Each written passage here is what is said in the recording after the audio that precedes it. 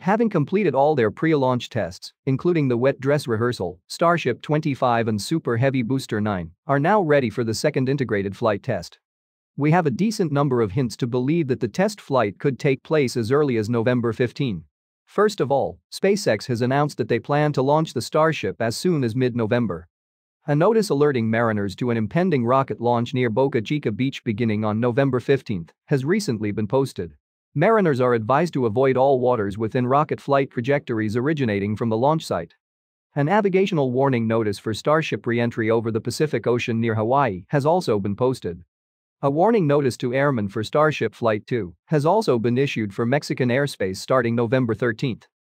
In addition to the warning notices, road closures for the Starship launch have already been scheduled for November 15. NASA's WB-57 aircraft arrived in Texas from California on November 8 to monitor the Starship launch. The plane will help NASA capture footage of Starship flight from multiple angles for post-flight engineering analysis. So, in short, SpaceX's website, warnings from US government agencies, road closure notices, and the arrival of NASA's research aircraft all point to the Starship's second integrated flight test happening as early as November 15. On November 9, technicians moved the flight termination system charges from a nearby bunker to the launch area. Afterwards, they carefully installed the FTS charges outside the common dome area of the booster in the ship. A flight termination system is a safety mechanism designed to destroy the rocket in flight by triggering an explosion to ensure public safety if the launch vehicle goes out of control or off course during its flight. During the test flight on April 20, there was a 40 second lag between the system's activation and the rocket's breakdown. SpaceX has now upgraded the system to immediately destroy the launch vehicle in the event of an anomaly. FAA regulations state that installation of the flight termination system must wait until a launch license has been obtained. The installation of FTS charges means SpaceX may have already obtained the launch license, but the news has not yet been released to the public. Or maybe the license is on its way, and the FAA has authorized SpaceX to install the flight termination system. Either way, we'll soon hear the news that the FAA has granted SpaceX a Starship launch license. After the installation of the FTS, SpaceX stacked Ship 25 on Booster 9 and began preparing the integrated vehicle for launch. On launch day, two hours before liftoff, SpaceX will begin loading more than 10 million pounds of methane and liquid oxygen into the launch vehicle. Following a final health check, the launch director will give the green light for liftoff at the T-40 second mark. The flame deflector will be activated 10 seconds prior to liftoff, spraying thousands of liters of water into the area directly below the rocket's engines to divert the exhaust plume away and protect the launch pad hardware and the launch vehicle from the extreme acoustic and thermal environment during liftoff. Booster engine ignition will occur at the T-3 second mark, and 5 seconds later, the rocket will lift off from the launch pad. Approximately 2 minutes and 41 seconds into the flight, the booster stage will separate from the upper stage and attempt a soft water landing in the Gulf of Mexico, about 30 kilometers from the shore. Meanwhile, Starship will continue its flight around the world, nearly reaching orbital velocity, before splashing down at the targeted location approximately 100 kilometers off the northwest coast of Kauai. The splashdown is scheduled to occur 90 minutes after liftoff from Starbase. If the mission is a complete success, it will open up the next phases of SpaceX's Starship program. Perhaps SpaceX could meet the goal of launching Starlink satellites on Starship by the end of next year. Maybe they can also begin demonstrating Starship's in-orbit refueling capability, which would be an important breakthrough for NASA's Artemis program. On the other hand, if Starship blows up before clearing the launch pad, it will set back the rocket program for several months. It might even prompt more scrutiny from regulatory agencies, which would cause additional disruption to Starship's timeline. SpaceX has made more than 1,000 tweaks, upgrades, and modifications to the Starship since the April test flight to prevent failures in the future. The second flight test will debut the new hot stage separation technique and the Raptor electric thrust vector control system used to gimbal the engine for steering the rocket. The launch pad also received many upgrades after the first flight. Reinforcements to the pad foundation and the water-cooled steel flame deflector are among many other enhancements. Also, as you can see, compared to the first test flight, the timing of various mission profile milestones differs in the second flight. Please check out my previous videos to learn in detail about all the upgrades and modifications Starship, Raptor, and the launch site received after the first flight test. Links are in the description. Before the April 20 launch, Elon Musk said that a successful test flight would mean the rocket didn't blow up on the launch pad. This time, SpaceX hopes to go a little farther. Musk predicted that there's a roughly 60% chance that Starship will make it to near orbital velocity on the second test flight. In my opinion, a flight up to successful stage separation and Starship ignition would mean that SpaceX has mitigated the problems that resulted in fuel leaks and fires during the April test flight. It would also indicate that SpaceX has improved its Raptor engine's reliability and the rocket's new electric thrust vector control system. What do you think will be the outcome of the upcoming test flight? Share your views in the comments. Starbase is home to numerous rockets at different stages of production. If the second Starship fails to reach orbit, additional vehicles are poised for flight. A recent SpaceX FCC filing revealed the flight profile of the Starship's third integrated flight test. The booster's path will be similar to that of the second integrated test flight during the third mission. After stage separation, the booster will perform a partial return and land in the Gulf of Mexico. Starship, after attaining an altitude of 235 kilometers, will perform a powered targeted landing in the Indian Ocean. SpaceX is planning to demonstrate high data rate communication with the vehicles via Starlink satellites during the third mission. As per the FCC filing, SpaceX intends to carry out the third flight test between December and February. However, since an FCC filing is not necessarily a reliable indicator of a target launch window, we should not conclude that launch number 3 will occur within this time interval. At this time, it's unclear if the third integrated flight test will see the launch of Ship 26 or Ship 28. Ship 26, which completed a single-engine static fire test last month, is currently at the Rocket Garden. Ship 28 is being prepared for static fire tests near the Rocket Garden. Booster 10 will be the Super Heavy prototype launched in the third flight test.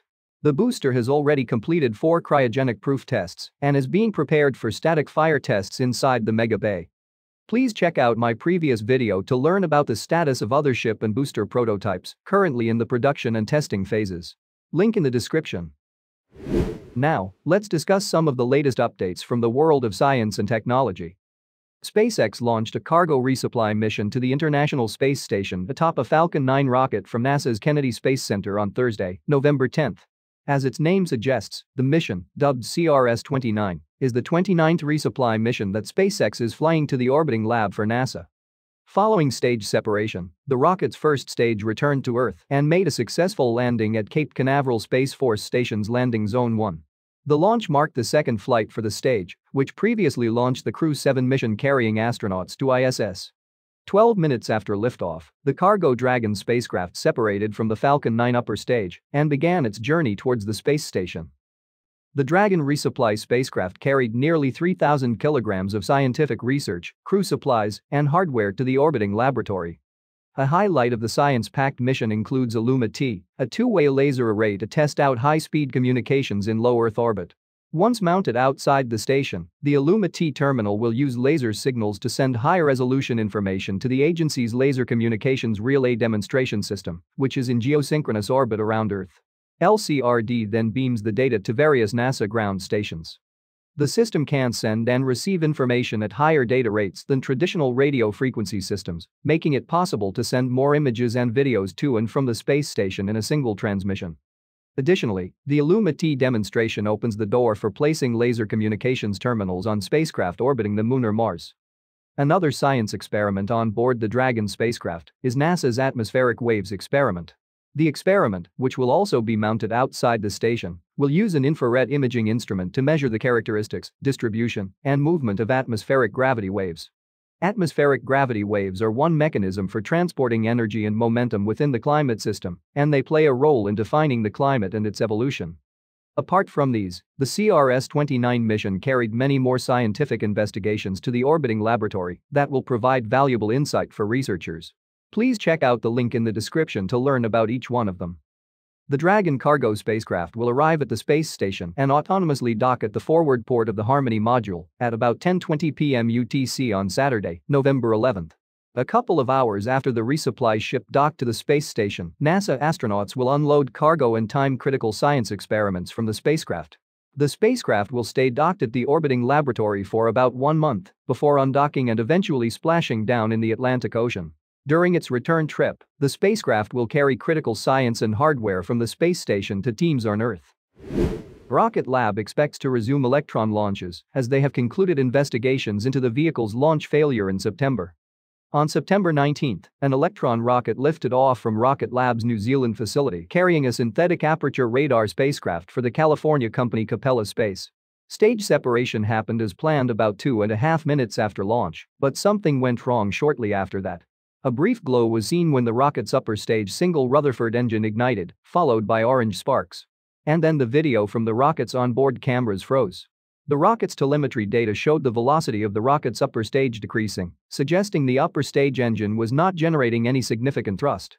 Without enough speed to reach orbit, the upper stage and its payload plummeted into the Pacific Ocean downrange of Rocket Lab's launch site.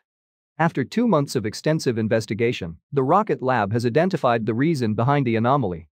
At 151 seconds into the mission, there was an unexpected electrical arc within the power supply for the upper stage. That shorted the battery packs that power the upper stage single Rutherford engine, causing a loss of power. The arc resulted from several factors, including a ripple voltage in the power system, the presence of traces of helium gas, and an undetectable flaw in insulation in the power system. In order to prevent such incidents in the future, Rocket Lab has spent the last few weeks making necessary modifications to the rocket's upper stage. They enhanced ground testing of the upper stage and added more pressure to the upper stage's battery frame section to prevent arcing conditions from forming.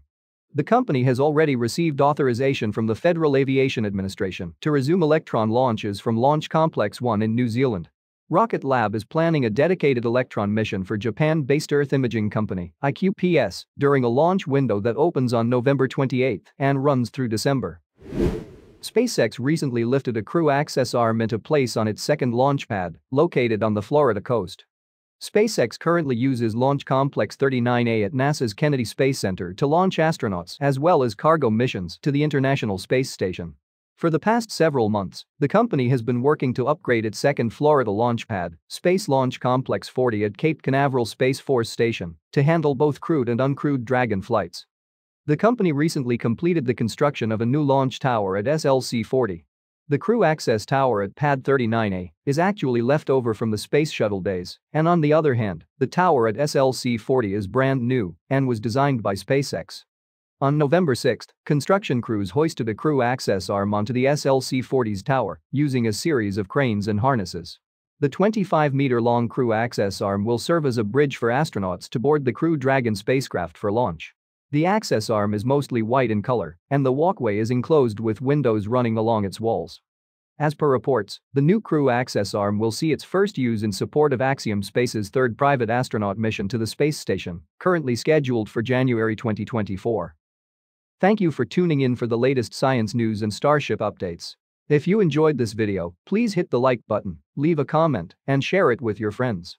Also, don't forget to subscribe to the channel and turn on notifications so you never miss an episode.